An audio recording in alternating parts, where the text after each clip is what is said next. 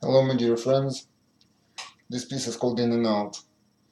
Last night I was at the show performing, so here's how it went.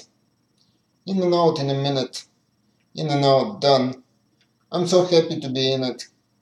Having lots of fun. Microphone, the stage, the people. Loving to be here. And to top it off, they're serving some respect with beer. I was in, now I'm out. To a new location. In my pocket, I have got next week's invitation.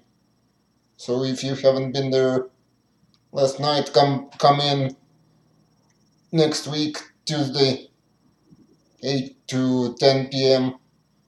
5043 Van Nuys in Sherman Oaks. I'll see you there. Thank you.